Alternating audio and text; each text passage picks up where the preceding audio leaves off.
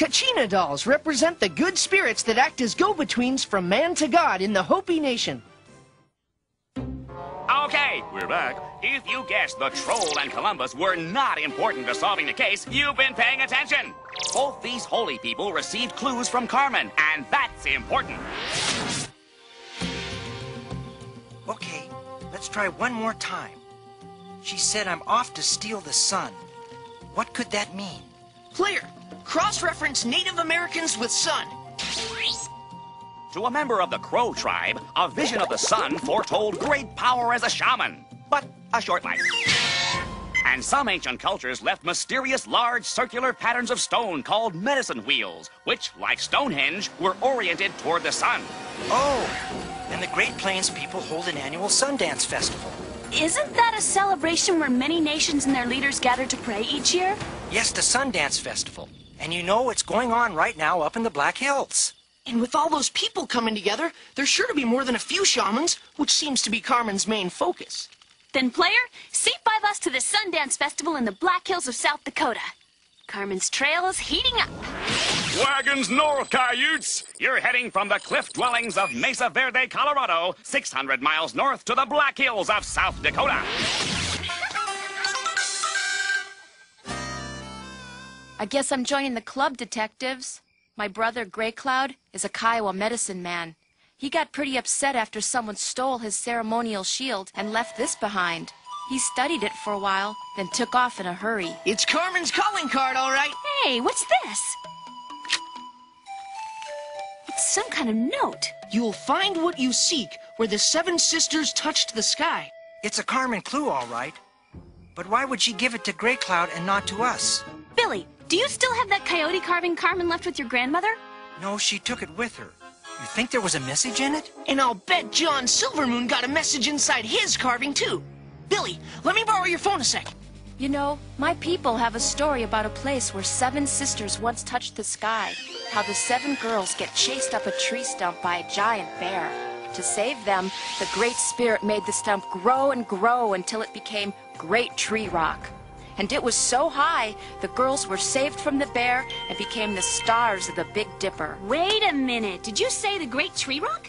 That's another name for Devil's Tower. Ivy, John Silvermoon took off after we left. He told his wife he had emergency clan business and he booked an airline ticket to Wyoming. Home of Devil's Tower.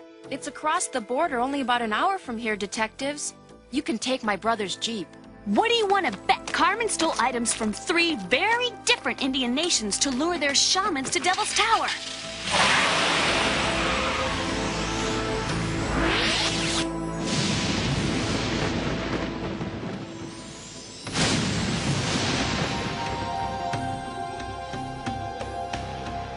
But why am I having nightmares about the raven, coyote, and bear?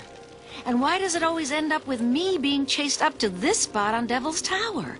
This place, like all the objects that surround us, have their own spirit, and each spirit has its rightful home to which it must always return for there to be the proper balance in the world.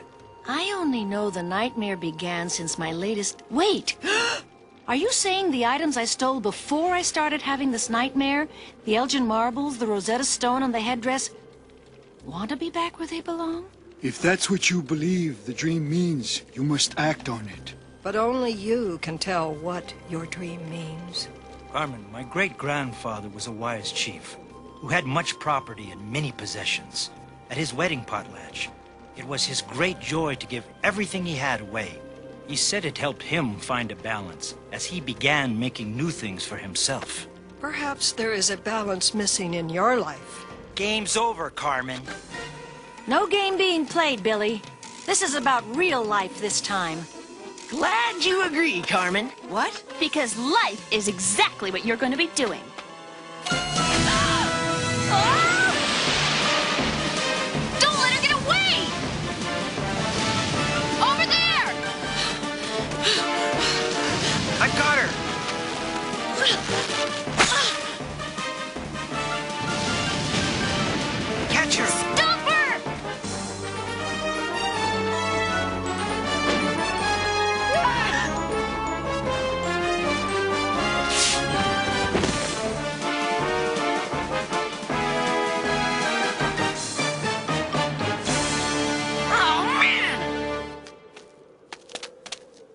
Grandmother, why did you let her get away?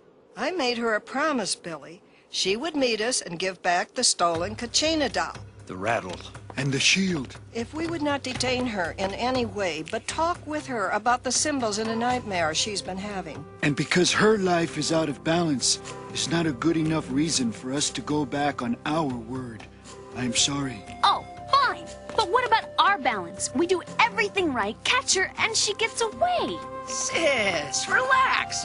You gotta learn to be more like Raven. He captured the sun and moon by tricking the great chief. Just like how we'll eventually get Carmen. See? The story is beginning to mean more to you already.